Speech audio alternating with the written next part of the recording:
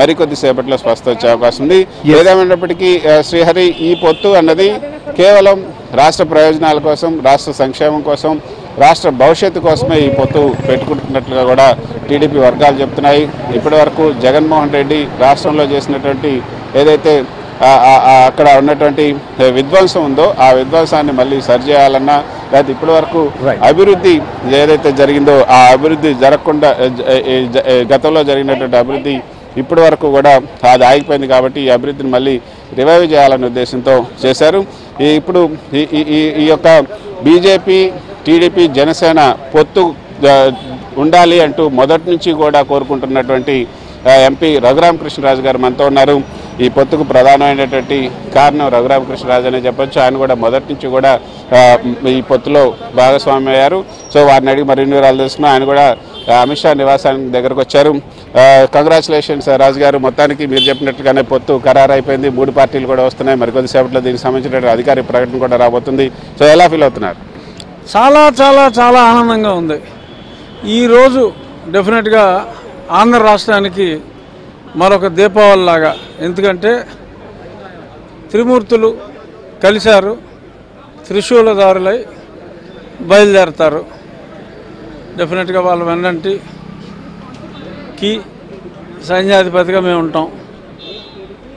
So రాష్ట్రానికి ఇన్నాళ్ళు పట్టిన దరిద్రం వదిలించడానికి రంగం సిద్ధమైంది. ఆ కళ యాభై అరవై రోజుల్లో కంప్లీట్ అవుతుంది. సో రాష్ట్ర సంక్షేమం దృష్ట్యా రాష్ట్ర ప్రయోజనాల దృష్ట్యా రాష్ట్ర అభివృద్ధి దృష్ట్యా ఈ యొక్క పొత్తు కుదిరింది అనుకోవచ్చా?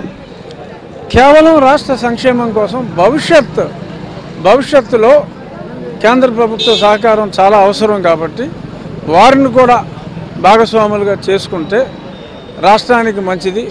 గతంలో కూడా రెండు వేల పద్నాలుగు నుంచి పంతొమ్మిది మధ్యన జరిగిన అభివృద్ధి అంతా కూడా సర్వనాశనం అయిపోయింది ఈ ఐదేళ్ళలో.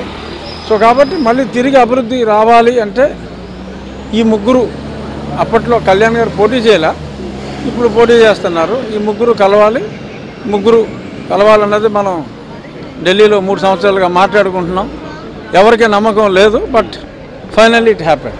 Okay అయితే మీ ఎంపీ విజయసాయి రెడ్డి ఇచ్చినటువంటి ట్వీట్లో మనం చూస్తే రెండు వేల పద్నాలుగు పంతొమ్మిది నుంచి వాళ్ళు పొత్తు పెట్టుకున్నారు కానీ రాష్ట్రానికి ఏం చేయలేదు ఇప్పుడు కూడా ఏం చేయబోతారు ప్రజలంతా నిలదీయాలని ఆయన ట్విట్టర్లో ట్వీట్ చేశారు. మీరేమంటారు?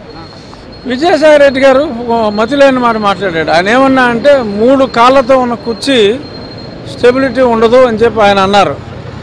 బట్ ఆయన చూసుండ్రు చాలా కుర్చీలు ఫ్రంట్ రెండు వెనకాల ఒక చైర్తో ఒక దీంతో చాలా స్టేబుల్గా ఉంటాయి కానీ నేను ఇప్పుడు దాకా ఒక కాలుతో ఉన్న కుర్చీ నేను ఎప్పుడు చూడలే.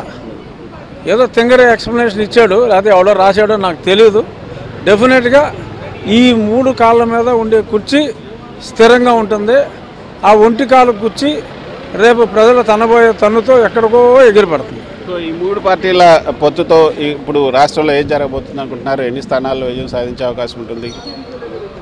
నూట ముప్పై ఐదు least. May cross one fifty. ఈ పొత్తుని సక్రమంగా ప్రజలకి ఎక్స్ప్లెయిన్ చేయగలిగితే నూట యాభై క్రాస్ అవుతుంది. నూట ముప్పై ఐదు అనేది లీస్ట్ కేస్ సిచ్యువేషన్. నేను మా జగన్మోహన్ రెడ్డి అంటే గతంలో మా జగన్మోహన్ రెడ్డి లాగా నూట డెబ్బై ఐదు వస్తాయి. ఇరవై నాలుగు నుంచి ఇరవై ఐదు ఎంపీలు వస్తాయి. ఇలాంటి గాలి మాటలు నేను మాట్లాడను. వాళ్ళకు కూడా రెండు ఎంపీలు రావచ్చు. ఇరవై రెండు నుంచి ఇరవై మూడు ఎంపీ స్థానాలు ఖచ్చితంగా వస్తాయి. ఇరవై నాలుగు వచ్చిన ఆశ్చర్యపోకర్లా. కానీ లీస్ట్ ఇరవై రెండు. గతంలో జగన్మోహన్ రెడ్డికి పొరపాటున తప్పు చేసి ప్రజలు ఎటువంటి తీర్పు ఇచ్చారో ఇప్పుడు వాళ్ళ నిర్ణయం సరి చేసుకుని అటువంటి తీర్పే ఇవ్వబోతారు. అయితే బీజేపీకి ఆప్షన్స్ కూడా ఉన్నాయి. కానీ రాష్ట్రంలో ఉన్నటువంటి పరిస్థితులు రాష్ట్రంలో అక్కడ విధ్వంస పాలన వీటన్నిటి మీద వాళ్ళకి వచ్చినటువంటి నివేదికలు తర్వాత పొలిటికల్గా అందరి దగ్గర నుంచి అన్ని వర్గాల నుంచి తీసుకున్నటువంటి ఒక ఫీడ్బ్యాక్ వీటన్నిటి దృష్ట్యానే టీడీపీ జనసేనతో కలిసిపోవాలని నిర్ణయం తీసుకున్నట్టుగా తెలుస్తుంది. అంతేకాకుండా ఈ యొక్క ఏదైతే ఈ పొత్తు పెట్టుకుంటే ఇరవై మూడు నుంచి ఇరవై నాలుగు స్థానాలు గెలిచే అవకాశం ఉంటుందని కూడా వాళ్ళకి సర్వే రిపోర్ట్ చెప్పినట్టుగా తెలుస్తుంది. దీన్ని బట్టి ఏమంటారు?